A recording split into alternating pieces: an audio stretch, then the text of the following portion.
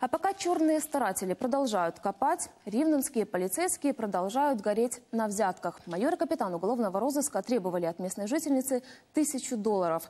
За это обещали не привлекать женщину к ответственности за скупку краденого.